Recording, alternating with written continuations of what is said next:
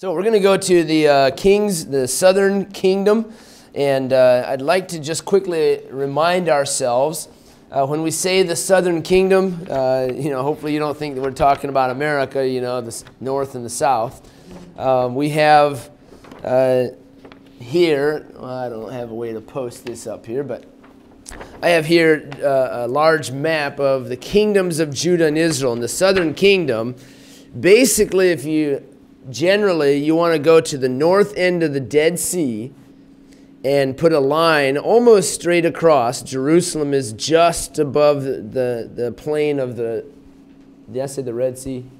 The Dead Sea, if I said the Red Sea. Um, this just basically you can put a line across here, everything to the south, everything to the north. Okay? Um, Jerusalem is the capital of the southern kingdom and uh, let's see if it's on here. Samaria is the capital of the northern kingdom. And of course, it takes the split right after Solomon uh, because of his uh, sin of marrying many wives and the worship of false gods, because of his many alliances with uh, other kingdoms that God wasn't pleased with. And, um, oh, and then the, then the obvious thing is that his son uh, would not lower the taxes, Rehoboam, which we're going to look at today. Okay, so southern kingdom, basically the north end of the Dead Sea is the northern kingdom going north, and uh, the northern kingdom falls much sooner than the southern kingdom because they're much, much more wicked. Uh, by the way, looking at this map, it doesn't show, yes, it does, Bethel and Dan. Okay, so these two places, locations, were where the golden calves were set up. And uh, at Dan, that very location has been rediscovered. Uh, there's, it's very obvious that that's the temple, and they believe that's the location of the uh, of that golden calf up in the northern kingdom. So obviously, at Bethel was to keep the people from going back to the southern kingdom to Jerusalem to uh, worship the Lord. So. All right, I have references for you. We're not going to look at all of these, but I do want you to look at the first one here for sure in your Bible. 1 Kings chapter 1. I'm sorry, 1 Kings chapter 12. 1 Kings chapter 11 is about Solomon and his uh, downfall. We, by the time we get to 1 Kings chapter 12, we uh, have the death of Solomon and a new king, his son Rehoboam, coming to the throne. Rehoboam went to Shechem, for all Israel come to Shechem to make him the king. Now, Rehoboam is one of many, many, many, many sons of Solomon. Right? he had many, many wives. Okay, so, yes. Um, just out of that, I just came across this a couple weeks ago, but someone, a commentator in the Bible, was saying that Solomon only had one son and two daughters.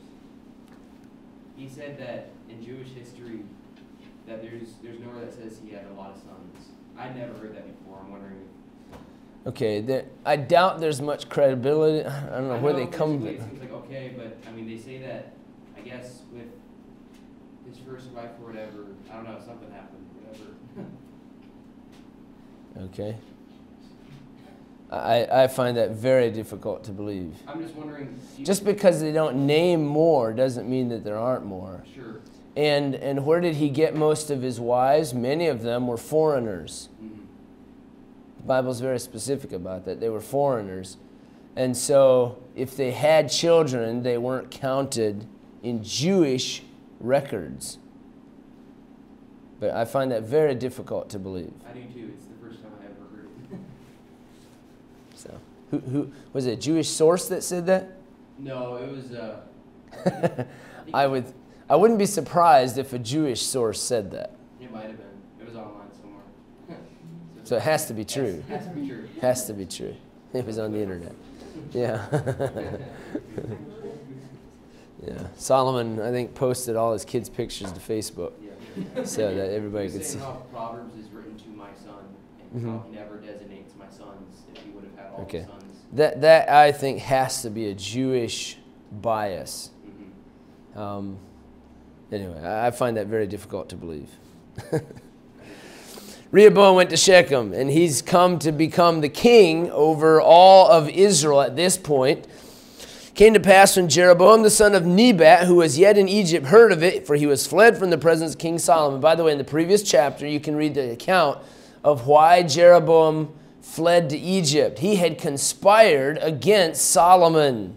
Jeroboam was a great leader, and he had conspired against Solomon. He was caught, fled to Egypt to spare his life, and after Solomon dies, now he comes back to make Rehoboam the king. And, and I find it very difficult to believe, here we go using that phrase again, that, that he's coming innocently.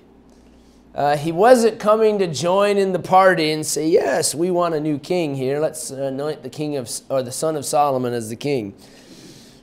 he's obviously there at the right place at the right time, man. When there's a trouble, you know, he's like Absalom, I think, to say, Wait a second, you know, if, if you need another option, you know, if King David's too busy to listen to you, why don't you tell me?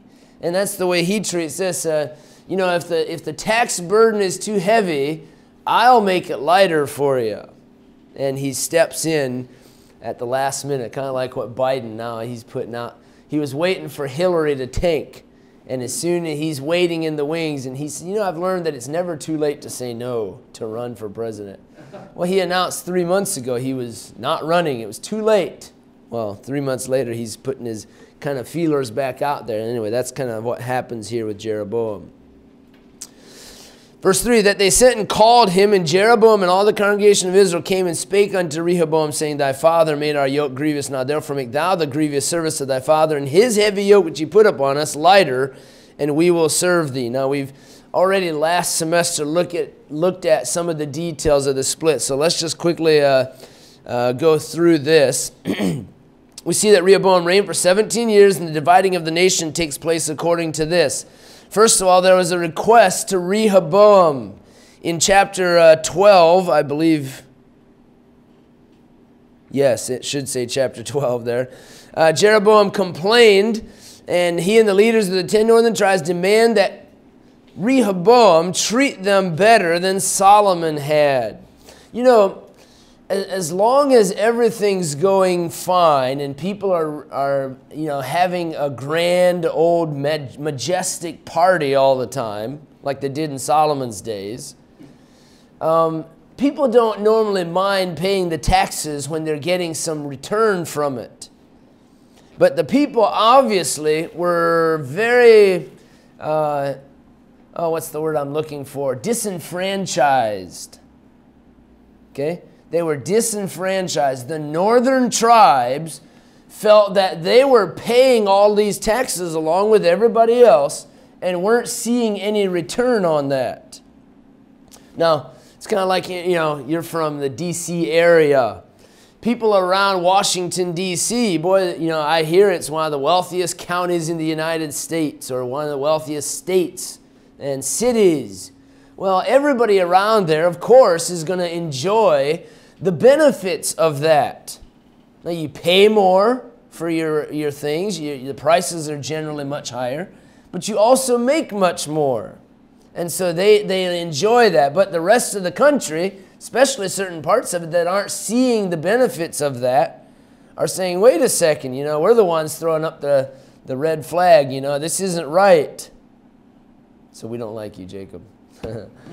um, and that's very much how it was in the northern tribes.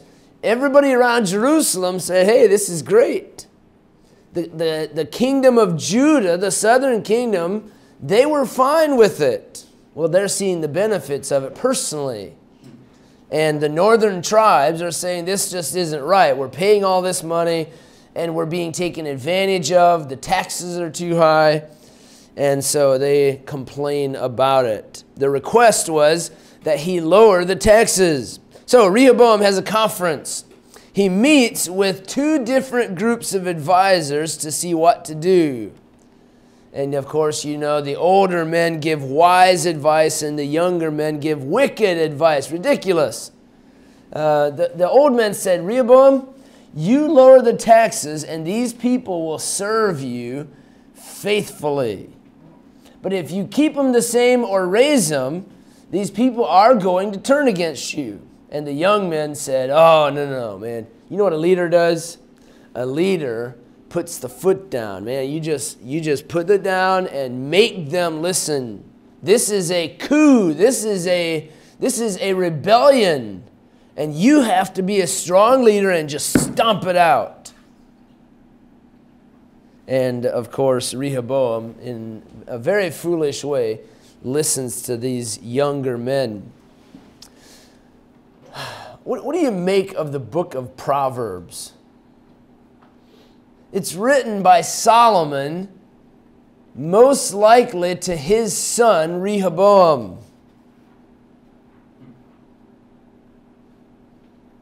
What does Solomon over and over again say in the book of Proverbs? That's bad English. What does he say in the book of Proverbs over and over and over again? Right? Listen, pay, pay attention, hear me, give ear to the wise, multitude of counselors. Okay? Talks about the hoary head. okay? Well, it also talks a lot about the strange woman.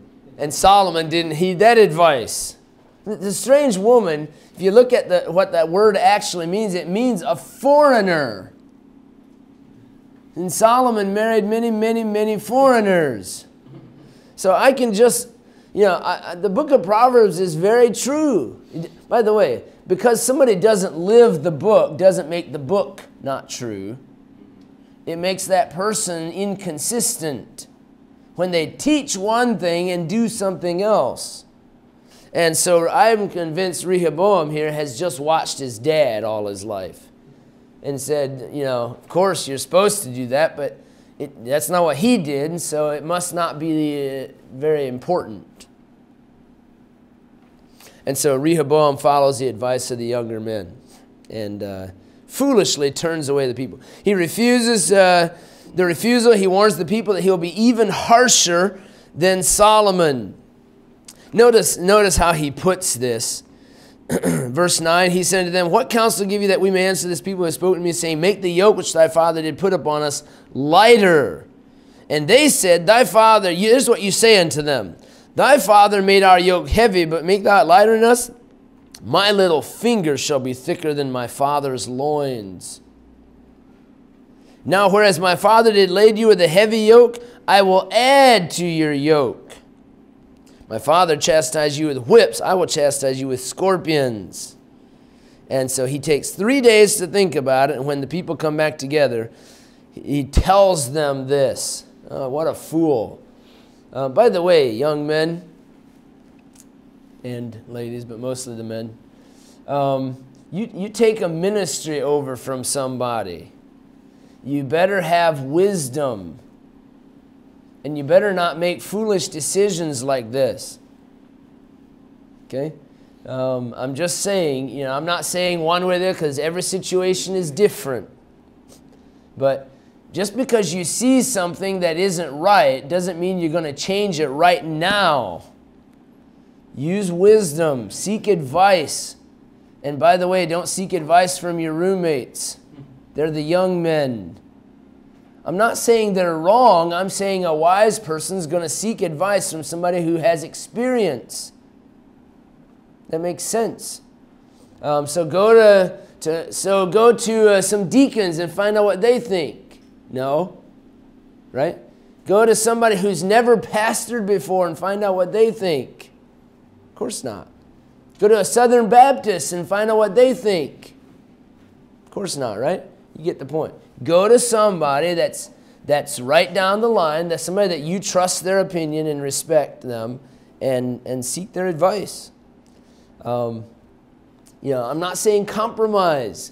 I'm not saying put up with things, you know, but I'm saying have wisdom. You're not gonna you're not gonna change everything to the way you like it in the first year that you're at a ministry. I'm just putting that out there.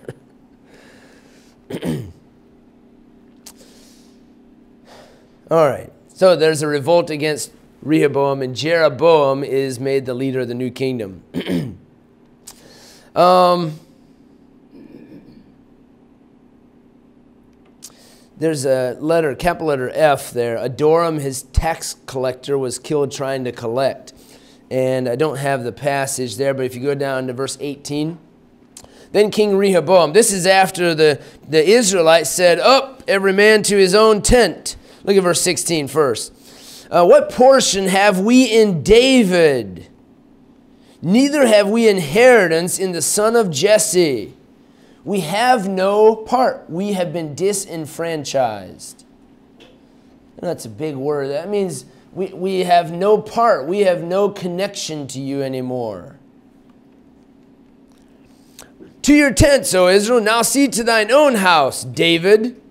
So Israel departed unto their tents. But as for the children of Israel which dwelt in the cities of Judah, Rehoboam reigned over them. King Rehoboam set Adoram, who was over the tribute, and all Israel stoned him with stones, that he died. Therefore King Rehoboam made speed to get up to his chariot to go fight them. No, it's not what it says. He got to his chariot and he fled to Jerusalem. Okay, so he got out of there. He knew he was he was the next one to get stoned if he stuck around there. All right, next, move on. The details of the kingdom. Now, this is the, of the southern kingdom. The southern kingdom. And I don't know why all my. Oh, oh, oh, that's why. Second Chronicles is the, are the, the passages that I have next to it. Chapter 10 is uh, in Second Chronicles chapter 10, the request to Rehoboam, chapter 11. So uh, now we need to go to Second Chronicles to see this next uh, main point here. Second Chronicles.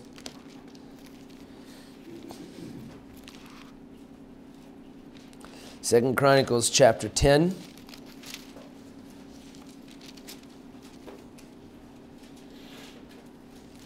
I'm sorry, chapter 11. We already discussed everything in chapter 10. Second Chronicles chapter 11. When Rehoboam was come to Jerusalem, he gathered of the house of Judah and Benjamin. So he's fled to Jerusalem, and now he immediately decides to attack the northern kingdom. You can't leave. it's funny to me, you know, it's the opposite of uh, what happened in the United States. The northern kingdom tried to keep the southern kingdom from leaving in, I say kingdom, the north tried to keep the south from seceding.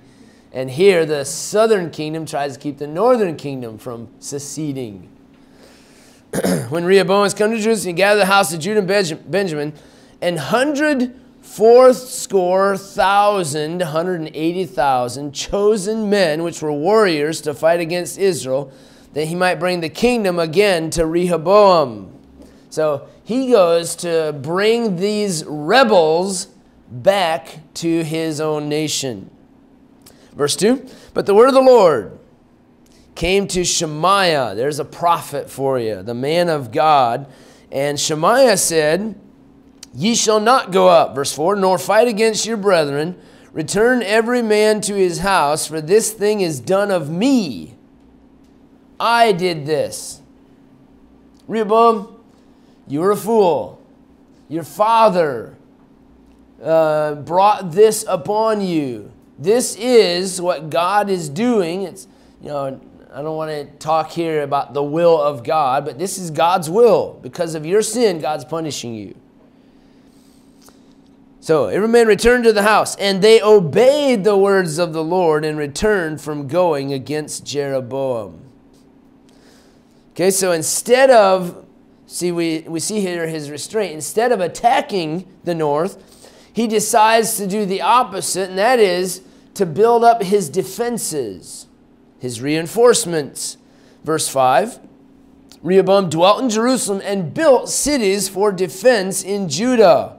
Now, that's exactly what he's doing is he's protecting, he's building cities to protect their country from the northern kingdom. By the way, uh, can you imagine the volatility here? Uh, everybody's not knowing what's going to happen next. The north is afraid of the south, and the south is saying there's no way. I mean, when they seceded, they're definitely going to attack us. So he immediately builds up how many cities here? Bethlehem, Etam, Tekoa, those are all south towards Bethlehem. Bethzur, Shoco, Adullam, that's over to the east towards the Philistines. Gath, Mareshah, Ziph, Adoram, Lachish, Azekah, Zorah, Aijalon, Hebron, those are all cities in Judah. And they reinforced those cities, fortified the strongholds, and put captains in them, store of victual and of oil and of wine. So he put uh, a bunch of storage there of food in case of siege. So his restraint, his reinforcement. Now, verse uh, 13 tells us some things about some refugees. Oh boy, that's a common term these days. The priests and the Levites that were in all Israel. Now, are you following this? They're in Israel, resorting to Jerob, I'm sorry, to Rehoboam out of all their coasts. They are refugees from the northern kingdom coming down to the southern kingdom. What are they? The priests and the Levites. Who are these people? What kind of people are they?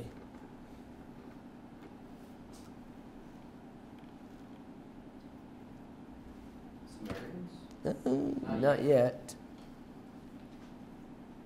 Okay, I'm asking a very general question, actually. Are these, yes, Joel? Levites or priests, the people that saw through the house of God, and the other king was killing them, chasing them around.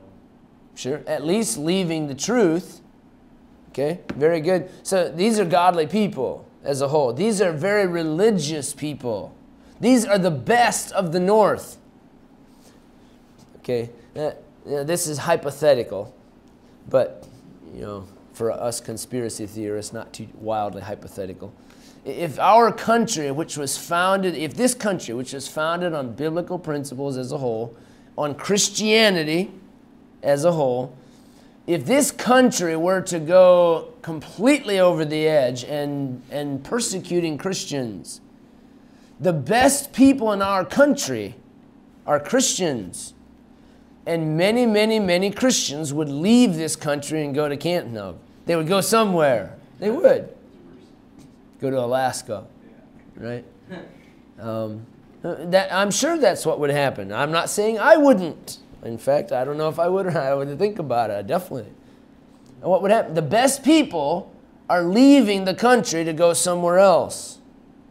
Okay, and that's, that's what's happening here. These priests and Levites for the Levites left their suburbs and their possession and came to Judah and Jerusalem. Now, they left their homes. Remember, Levites don't have their own inheritance. Their inheritance is scattered amongst the, the, the land of Israel in the different cities and the suburbs. And they left that and their possession and came to Judah and Jerusalem, for Jeroboam and his sons had cast them off from executing the priest's office unto the Lord. He ordained him priest for the high places. Remember what Jeroboam did? Can you remember? Anybody who was in last semester's class? Four things that he changed, at least four, maybe five. Change the feasts. Change the priesthood. To the common people. Symbols of worship. Change the symbols of worship. Who said times? That changed the times. The feast days removed a month later or a month earlier, I forget. And change the places of worship. Okay, so he changed all this, and all these religious people said, wait a second, we're going back to the temple at Jerusalem where we've always gone to. And so they moved. They left their possession. How'd you like to do that? Put a backpack on, put all your stuff that you can carry in there, and start walking with your family. And not knowing what's going to happen. Verse 16 And after them, out of all the tribes of Israel, such as set their hearts to seek the Lord God of Israel, came to Jerusalem to sacrifice unto the Lord God of their fathers. I think that's a key phrase. This is our, this is who we've always worshiped. Our fathers worship. We're going to worship here too. So they strengthened the kingdom of Judah and made Rehoboam the son of Solomon strong. Three years, for three years they walked in the way of David and Solomon. Ugh. Three years? That's all? All right, so the refugees, because of Jeroboam's idolatry and wickedness, many Levites flee the northern kingdom and settle in and around Jerusalem. Next, you see also his relationship. This is Rehoboam. He also follows in the ways of his father. He had 18 wives, 60 concubines. That's only 78. You know, so he's, uh, what is that, like uh, about a 12, 15% of his father? Isn't that what that is? Somewhere around that. So he's doing really good. You know, he's a step in the right direction. 28 sons and 60 daughters. My goodness. I guess I have three daughters and one son, so my percentage is even worse than that. But that's a bigger sample size 28 and 60. All right. Um, look, uh, verse 20. After her, he took Maacah, the daughter of Absalom. the daughter of Absalom. Uh, David was Rehoboam's grandfather, and Absalom was David's son, so Maacah would be his, his cousin. Second cousin or first cousin? First cousin. Rehoboam loved Maacah, the daughter of Absalom, above all his wives and his concubines. Rehoboam made Abijah, the son of Maacah, the chief, to be ruler among his brethren, for he thought to make him king.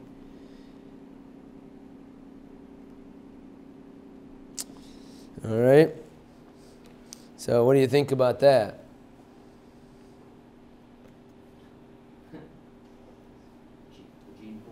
The gene pool is shrinking.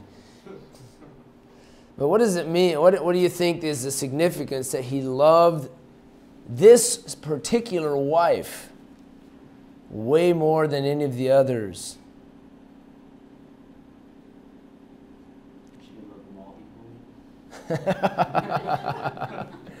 Shouldn't play favorites with his wives. So you, you guys all remember that. You know, that's a very important lesson learned. no? Absalom, great guy, right? I mean, just the model of uh, character and honesty and integrity. Okay? Joel, what do you think? She was probably good looking because I thought of that also. no character and good looking. Oh. Oh. Oh. Ouch. These two young ladies up here are like, uh, wait a second. we can have both. so, uh, but I did think of that. Solomon or Absalom was was very handsome, you know. Yeah, I don't even like to say that. But, uh, but his daughter probably was the same. And I would, you know, we can just assume, we don't know this, but uh, Rehoboam obviously is forsaking the Lord, and this is his favorite wife. So it means that she also was not a good Christian, and it probably means that she was uh, like her father, Absalom. Chapter 12 verse 1 came to pass and rehoboam had strengthened i'm sorry established the kingdom had strengthened himself he forsook the law of the lord and all israel with him.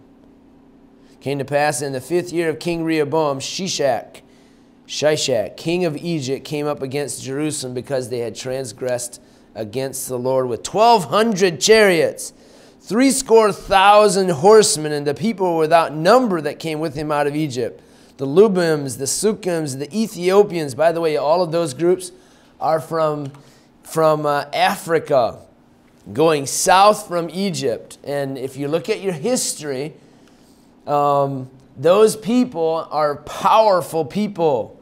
And the Egyptians had waged war against them much more than they had against kingdoms of the north. These are powerful groups. And here they had joined together and were obviously going to the north. They probably weren't attacking primarily Jerusalem, but God was using them to punish his people. He took the fenced cities which pertained to Judah. That's those cities that Rehoboam had strengthened and reinforced. oh, so much for those cities. And now he comes to Jerusalem. Verse 5 Then came Shemaiah the prophet um, this is the same prophet who we find in chapter 11.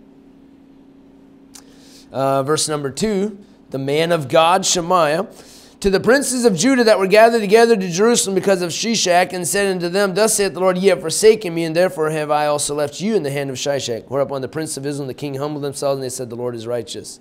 So they humbled themselves.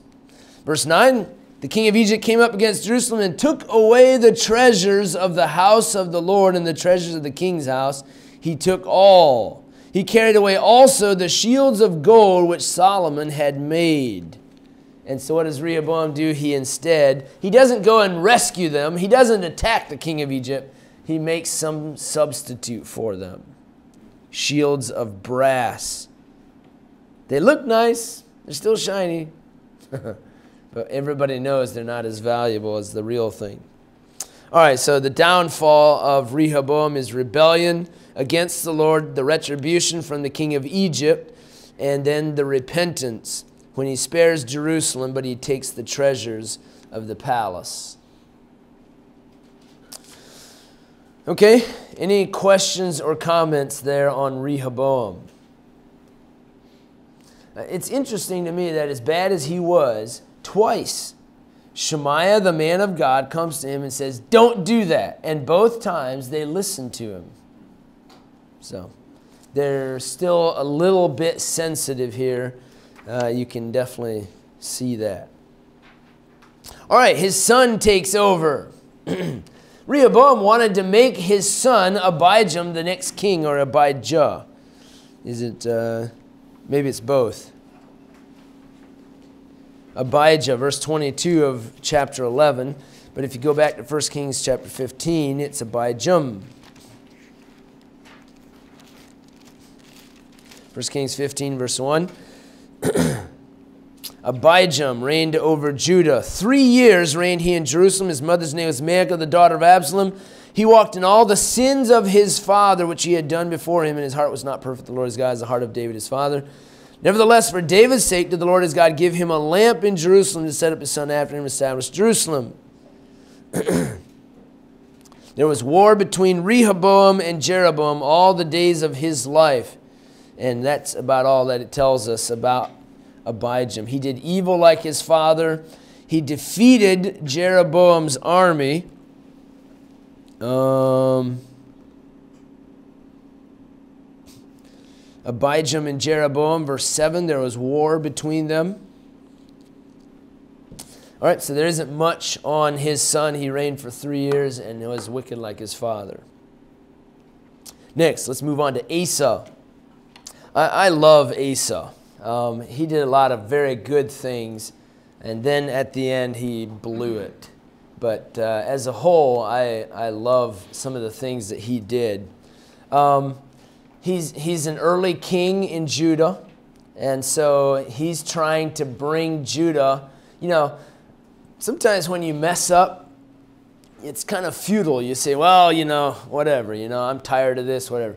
The Bible says, a just man falleth seven times and riseth again. And Asa, I think Asa knows, I think all these kings in the southern kingdom know that the, the kingdom will never come together again in their lifetime for sure. But yet they want to follow the Lord. And Asa is one of these. He says, I don't care what happens in the north. I don't care what they do. I don't care what previous kings did before me. I'm going to do what's right. And I love the, that, you know, you, of course, we know that there's a number of good kings in the southern kingdom that do these kinds of things. But Asa is the first one to do that to be a good king in spite of his own father and his own grandfather and so on. 1 Kings chapter 15, uh, verse number 9. in the 20th year of Jeroboam, king of Israel, that's the north, reigned Asa over Judah. Forty and one years reigned he in Jerusalem, and his mother's name was Maacah, the daughter of Abishalom. That's Absalom. And Asa did that which was right in the eyes of the Lord, as did David his father. Now, note down, or no, I say note down, sorry, you have it. His reforms. This is what I'm talking about. First of all, in verse 12, he took away the Sodomites out of the land. Now, that's just, it's completely out of the blue, you know. I mean, we don't know that there were Sodomites in the land. All of a sudden, he removed them. He removed them. Uh, there must have been a little island out in the Mediterranean that he moved him to and blew it up. Uh, no, I don't know that. Sorry, that's on video, isn't it? You'll have to subtract that, you know. anyway, he took the Sodomites out of the land and removed all the idols that his fathers had made. Well, he had a brother, probably a half brother or something like that, uh, named uh, Abijam. and uh, he had a father, Rehoboam, and a father, Solomon, who had allowed these idols to be built. And by the way, these idols weren't just scattered, you know, and you know, out on top of a hill in a grove of trees. Solomon built temples in Jerusalem so the, some of these gods and idols that were set up were in Jerusalem itself, cohabiting with the real temple. You know, it's, it's ridiculous. And so he removed all the idols that his fathers had made. Only had a father and a grandfather, I guess it would be, that they had made. Verse 13, and also Maacah, his mother, even her he removed from being queen because she had made an idol in a grove. All right, wait a second. A queen? It's the first time I know a king's wife is technically a queen. But this is the first time that it indicates that a queen had a position more than being the wife of the king. Okay? She doesn't she's not the wife of the king. Is she? Her husband is dead. Right? Rehoboam, he's gone. And here she still has a position of authority and honor. All right, I love this fact. I mean, he said, My own mother is not fit to be the king, the queen, and removed her. Why did he remove her? Because she had made an idol in a grove, and Asa destroyed her idol and burnt it by the brook Kidron. Anybody else who burnt their uh, parents' idol and broke it down at least? Maybe not burnt it, but broke it down. Back a long time before this. Uh, one of the judges. I'm trying to remember. Jerubbaal was his other name Gideon. uh, Gideon broke down his father's idol. But evidently, he had put the word out that if anybody's caught with a different idol, that they're going to be, their, their position or whatever, they'll be punished. And his own mother has an idol and won't take it away. And so he finds it, evidently. And when he finds it, he removes her from being the queen. But it's very interesting that she's the first queen in, in Israel, a person of authority and a position and honor. Verse 14, but the high places were not removed. Nevertheless, Asa's heart was perfect with the Lord all his days. He dedicates the vessels of the house of the Lord. Um, during his time, there was war between Asa and Baasha, king of Israel, all their days. And Baasha, king of Israel, went up against Judah and built Ramah that he might not suffer any to go out or to come into Asa, king of Judah. That Ramah, you might remember who, who was from Ramah, a different Ramah, but close by. Uh, was it Omri? No. It was, huh? Samuel, that's correct. Samuel was from Ramah. The word Ramah, it means a hill. A hill. And so what he did is he built a hill or he fortified a hill just north of Jerusalem. If you look at the map here, here's uh, Jerusalem. Just north of Jerusalem here is, is the, the northern kingdom. And Ramah is somewhere close to Bethel where Samuel lived. So it's almost for sure some location close to that.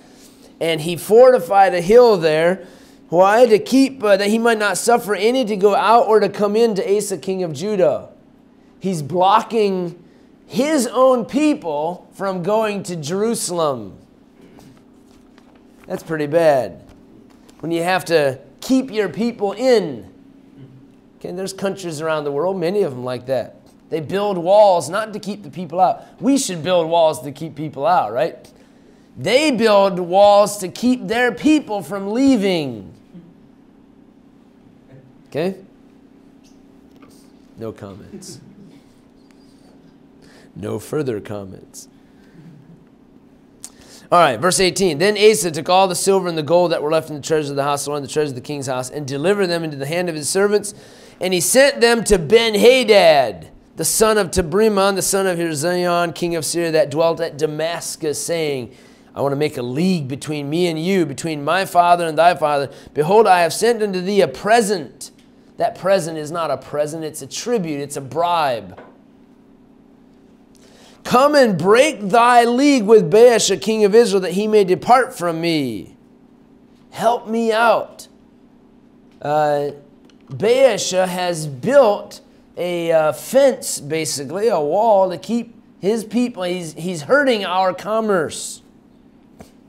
So Ben Hadad hearkened unto King Asa, and he attacks the northern kingdom for Asa.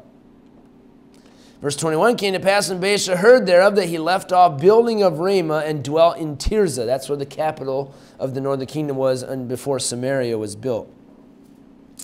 Then King Asa made a proclamation to all Judah. None was exempted, and they took away the stones of Ramah, the timber thereof. They took away all the building supplies that were left there, and uh, he built with that Geba of Benjamin and Mizpah, and so on. All right, note that, or you see there. Um, oh, I, I missed uh, the first, the next point there. Uh, let's go on there. His sins in chapter, uh, in this chapter of First Kings, but we'll see it also in Second Chronicles 16, where he, where King Baasha of Israel attacks Judah. Asa bribes the uh, Damascus, the city of Damascus, to attack Israel and of course they do that. If you go over to Second Chronicles now, chapter 15, Second Chronicles chapter 15. Second Chronicles 15 and 16 are about Asa as well, as we as you see on your uh, handout there. Let me have you jump to chapter 16 first to wrap up this uh, point. uh, First Kings doesn't tell us this, but as soon as as uh, Damascus, as soon as they attacked the northern kingdom, Hanani the seer, verse 7, came to Asa, king of Judah, and said, Hey, why didn't you trust in the Lord to protect you? Why would you go out and make a league with a foreign king instead of trusting the Lord? Because thou hast relied on the king of Syria and not relied on the Lord thy God. Therefore is the host of the king of Syria escaped out of thy hand. They are going to punish you someday, and you could have attacked them yourself and wipe them out. And then he reminds them what had happened before this. So let's go to back to chapter 15 that we missed in 1 Kings. But Second Chronicles chapter 15 tells us about a great, great victory that Asa wins over the Egyptians because they trusted in the Lord.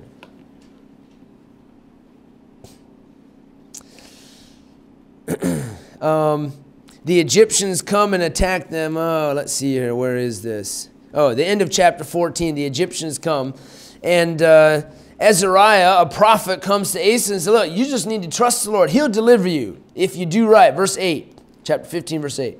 When Asa heard these words in the prophecy of Oded the prophet, he took courage and put away the abominable idols out of all the land of Judah and Benjamin, out of the cities which he had taken from Mount Ephraim, and renewed the altar of the Lord that was before the porch of the Lord. And he gathered all Judah and Benjamin and the strangers with them out of Ephraim and Manasseh, that's the north, and out of Simeon, that's in the south. For they fell to him out of Israel in abundance when they saw that the Lord his God was with him.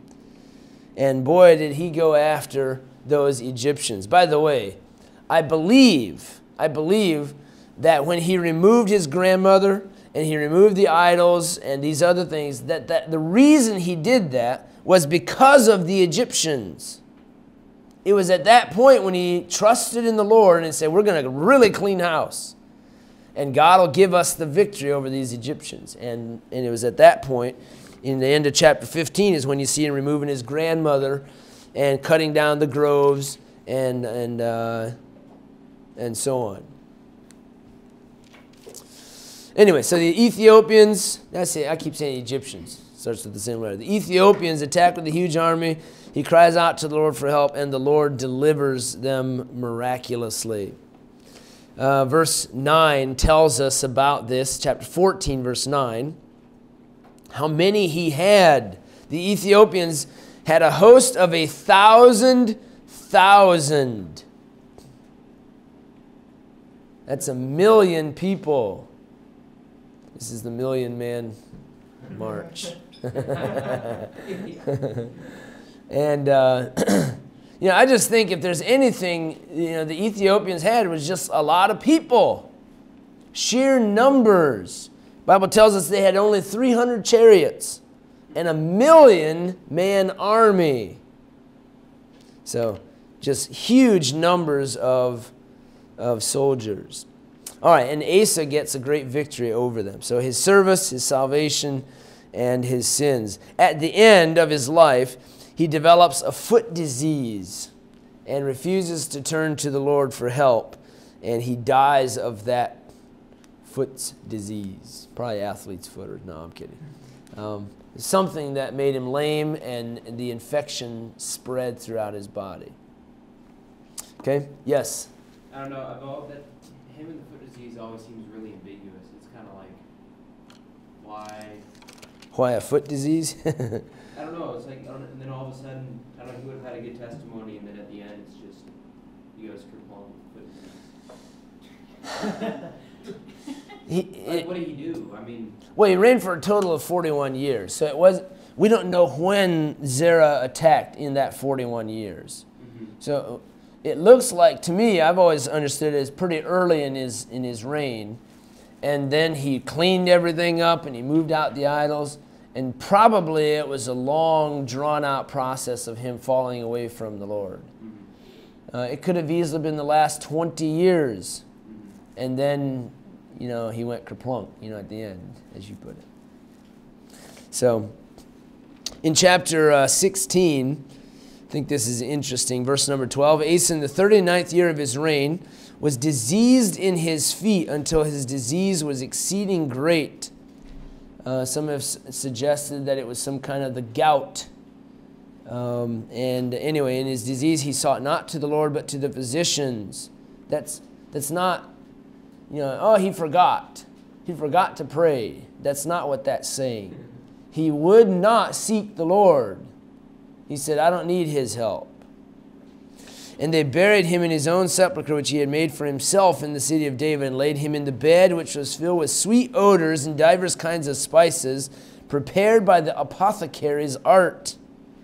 And they made a very great burning for him. This is, uh, if you're in my uh, Bible geography class, there's plenty of interesting cultural clues there about things that they did at that time. Okay, that brings us then to his son, Jehoshaphat. And uh, he was a very good king. And uh, we'll pick up with him in our next class period on Monday.